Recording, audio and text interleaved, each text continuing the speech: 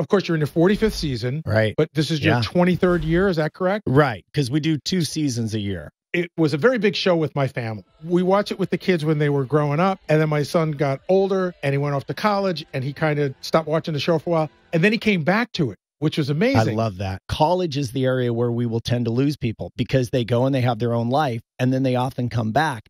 But what really has helped Survivor become a family show is about 12 or so years ago, we really made a concerted effort, especially me. The thing I'm constantly driving with our teams is imagine a seven year old watching this show and dreaming of doing it. And it's not because we're trying to attract an audience, that's part of it, but really in my soul, I know it's in all of us. There's something that Survivor touches, and you see it when you watch just one episode.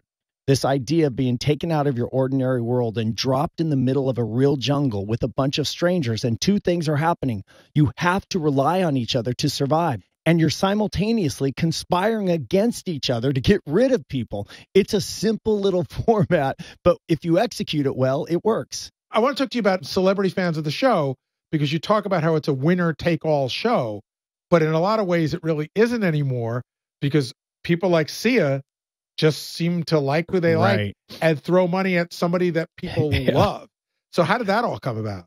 Sia has given to date. Next season, if she continues with her Sia prize, she will break a million dollars in personal money that she has given to players over the years. And how it started was we were friends and she loved Survivor, and that's how we originally met.